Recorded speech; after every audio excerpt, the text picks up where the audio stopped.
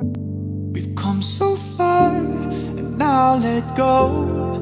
Let the feeling take its toll.